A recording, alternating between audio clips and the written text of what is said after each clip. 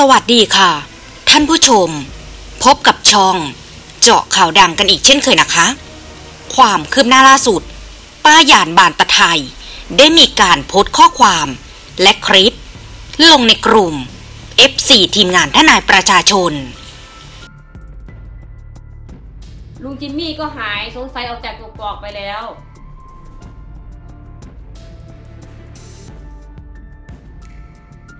ลุงจิมมาเชียงใหม่ครับป้า อ๋อ ไปกับพี่อาเหรอ ลุงจิมไปเชียงใหม่กับใครอะ กับทีมพีอาหรือมาดิพีทลุงจิมไปแอวสาวเหนือไม่มีคลิปนี่แปลกนะ ไปทำอะไรหรือเปล่าเนี่ย มีคลิปไหมไม่เห็นเด้ง ทุกทีแกไปเที่ยวจะมีคลิปตลอดนะ ลุงจิมไปกับเมียสองคน ไปดูงานใช่ไหมป้ามั่นใจว่าลุงจิมไปดูงาน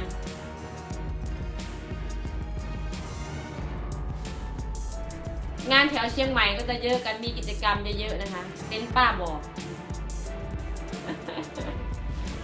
ลุงนันจิงนี่ท่านท่าแก่ขายรถประสันว่าจักแล้วเพิ่นไปเพิ่นบ่บอกเนาะไปเที่ยวเชียงใหม่เพิ่นกับบ่บอกอยู่ๆเพิ่นกลับไป แต่เชียงใหม่ก็มีก็เห็นว่าดีอาก็จะก็มีเขาเรียกว่าอะไรมีงานที่เชียงใหม่เหมือนกันนะตอนก่อนโน้นนะกับมาดิพีทด้วยเนาะนึกว่าไปด้วยกัน และได้มีการโพสต์ข้อความว่า ภาษาฝรั่งเศส มีคำว่า ลองเดอวิแปรซึ่งหมายถึง พวกลิ้นอาบยาพิษ พูดให้ร้ายคนอื่น ลองดูตัวอย่างในคลิป จะเห็นว่า แตนมีการพูด ส่อเสียดเป็นใน ให้ร้ายลุงจิมมิ พูด ยกตน ข่มท่าน ว่าไปก็ไม่บอก ราวกับว่า เขาเป็นขี้ข้าจะไปไหนต้องมาบอก มาขออนุญาต เราจะสังเกต ความจิก พยายามบ่งชี้ให้ FC เข้าใจว่า จิมมิจะทอดทิ้งไปเกาะกับแบรนด์อื่น ทั้งที่ตัวสมพร และผัวรู้ดีว่า จิมมิไปไหน ใชัยพลยังโทรถามว่า ตรวจแล้วกี่ขีดทำไมถึงอยากจะบงการชีวิตคนอื่น เทศกาลวันครอบครัว ใครๆก็กลับบ้าน จิมมิเขามีครอบครัว ลูกเมีย ต้องดูแล จะคอยให้เฝ้า แห่แหนตัวเอง เป็นเจ้าชีวิตได้อย่างไร ตะคัดตะแคง ว่าเขาจะเอาใจออกห่าง สิ่งเดียวที่สองผัวเมียกลัว และไม่ชอบเป็นอย่างยิ่ง คือกลัวคนที่จากไป จะอยู่ได้ จะได้ดี เพราะอาณาจักรของเขา เอาผลประโยชน์ สนตะพายยูทูบเบอร์ไว้ ถ้าใครทิ้งไปแล้ว อยู่ได้ด้วยลำแข้งจะเป็นตัวอย่างไม่ดี ให้อีกหลายคนที่เริ่มเบื่อบรรยากาศอึมครึม ความวุ่นวายที่ไอหมูตอนนำมาสู่หมู่บ้านยูทูบเบอร์ โดยมีพลแต่นหนุนหลัง ความมอมอแมะแมะแบบเก่าไม่เหลือแล้ว เพราะแบบนี้ แตนถึงตากหน้า ไปขอร้องช่องสองผัวเมีย นักเรียนนอกให้อยู่ต่อ ทั้งที่เขาทนกับบรรยากาศ วุ่นวาย ของที่ร้านพญานาคไม่ไหวแล้ว ช่องจิมมิ จะกลายเป็นปากแปรสอง คือถูกหมังเมิน และโดน เสียดสี นี่คือความเห็นแก่ตัวมักได้ ของสองผัวเมีย ตนเองจัดงานประกาศเต็มๆว่า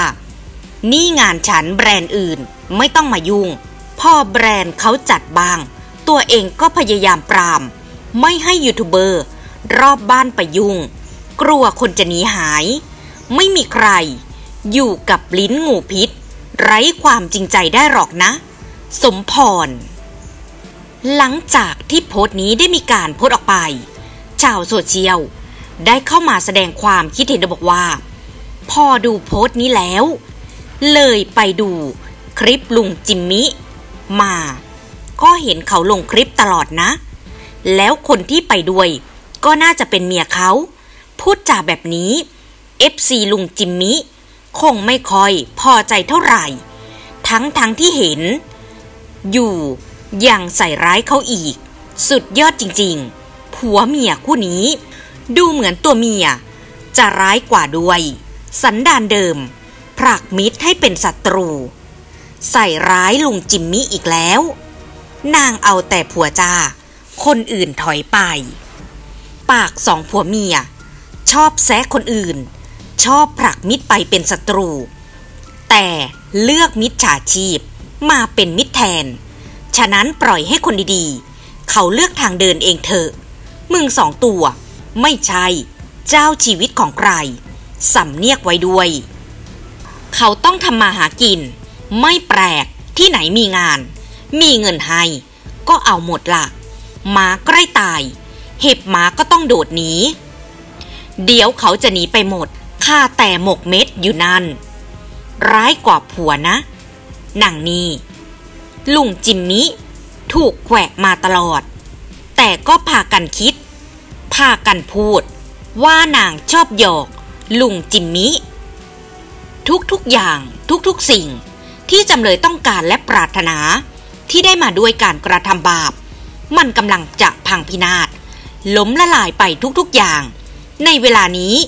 ร้อมนำความร้อน ความวุ่นวาย ความเดือดร้อนเข้ามาสู่ชีวิต แบบหลีกเลี่ยงไม่ได้ มันคือกรรม ที่มันต้องชดใช้ ใครที่ออกไปจากชีวิตสองผัวเมีย และกกอกชีวิตจะดีขึ้นทันที แต่ถ้าอยู่กกอก อยู่ให้ห่างตัวสวย จะดีนะจ๊ะ อนาคต จะเหลือแค่สองผัวเมีย ปากหมา เขาจึงไม่อยากอยู่ด้วยละมั้ง ยังมีระบบบ่าวกับไพรด้วยหรือ หมู่บ้านแห่งนี้ เขาไม่ว่างทำคลิปเหมือนป้าหรอกมั้ง แซะเขาไปทั่ว อีกหน่อยคงจะไม่เหลือใครอยู่เคียงข้าง แล้วล่ะ ให้เงินเดือนลุงจิมมิไง ถึงจะต้องมาบอกป้า ด้วยเหรอ คนนอกคน ช่างไม่มีความคิดบ้างเลยหมาหัวเน่า